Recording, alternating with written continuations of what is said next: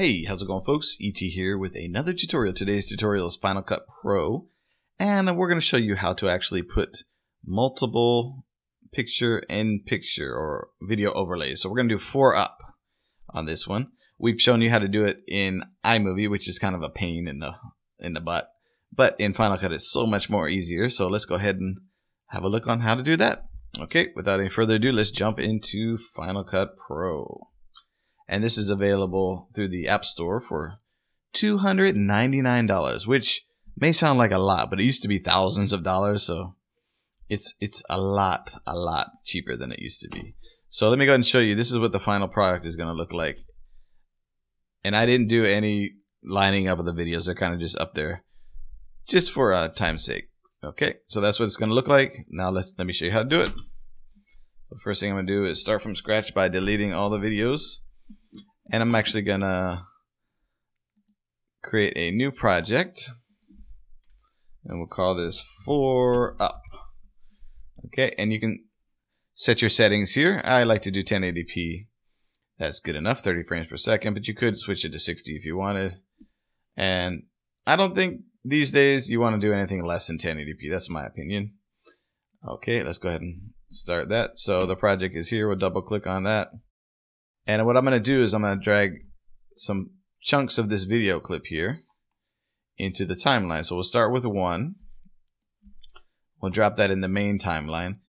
And the way that most editing programs work is the layer that's above shows. So the more layers you put on top, the more layers cover the one on the bottom. So let's go ahead and drag the second one here. So with with the limitations of iMovie, you're only allowed to do two layers, which is why we had to do that workaround in that video. And I'll put a link to that video just in case you're an iMovie user and you want to figure out how to do it.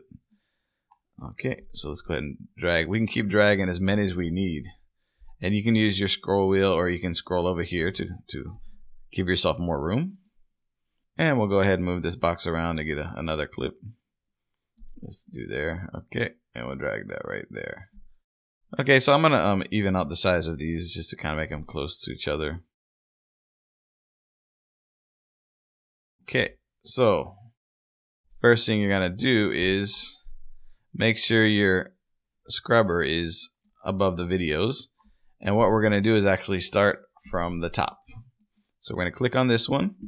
We're going to go over to our crop tool here, or our transform tool, sorry, our transform. You don't want to crop, transform tool and we're gonna reduce the size of this video. You know to to whatever size you need it to be but I'll just do kind of the, that size and I'll put it on the top left corner. Okay now we're gonna click on the next video. And it's already selected as transform so we're good to go there.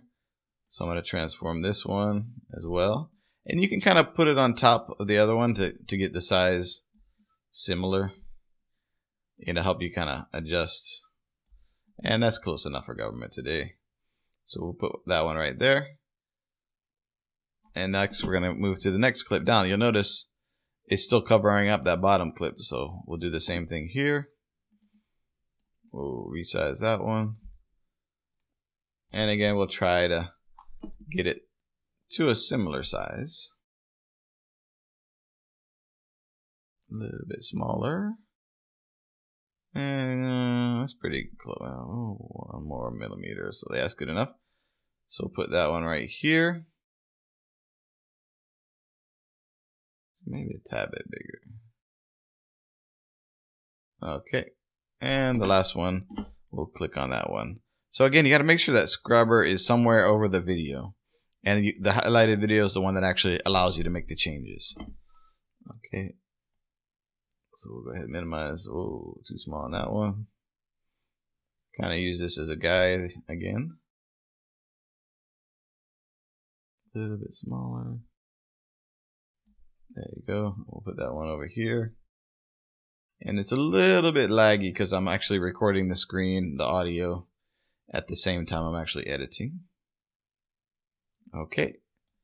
So what the orange is telling you is that it it's rendering. So what you can do now is just, I like to actually let it render before I do anything, but you don't have to. You can actually keep working in it.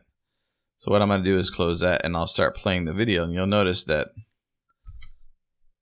all four of them are playing and all four sounds are playing at the same time. So what most people do is when they do that is they pick either a soundtrack or one of the soundtracks, one of the audio tracks from the video only to, to show. You don't want to hear all four at the same time, most likely. It's possible you might, you never know. So that's what I would do. I would maybe I, I want this bottom clip here. I need this audio here to be playing. Or you can also drag in an, an audio track.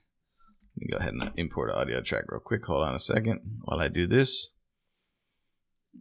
Okay, let's see. Should be in the in the downloads folder. Where's that at? Downloads.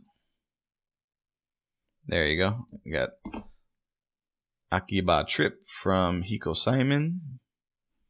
I'm to go ahead and import that one. And then it'll display in our media library. We won't need the whole song. So let's see. I for in.